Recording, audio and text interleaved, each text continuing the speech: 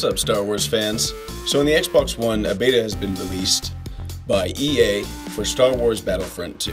Now, this beta is kind of interesting, and I wanted to show you guys the video footage of what it looks like on a 4K OLED uh, HDR capable television.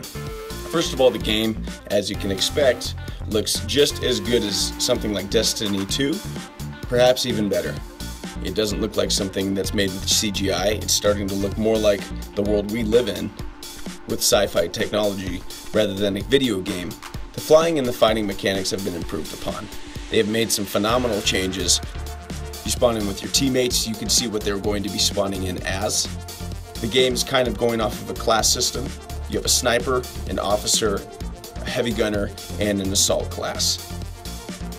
The specializations feel fantastic. The officer, for instance, has a turret that he can deploy, and that works phenomenally.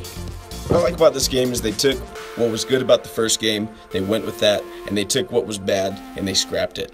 You would think that that would happen with most games in today's world, but it simply doesn't. Sometimes we simply do not always live in an ideal world. Something that they are also going to be doing is including all three eras of the Star Wars universe rather than one era, such as the game they previously made.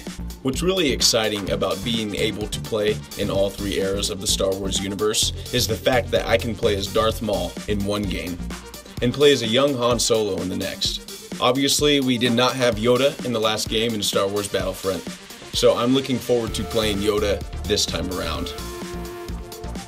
Anyways, I just wanted to give you guys a first impression of this game. I really am curious on what you guys think. Are you going to be picking this game up? Are you already in the beta?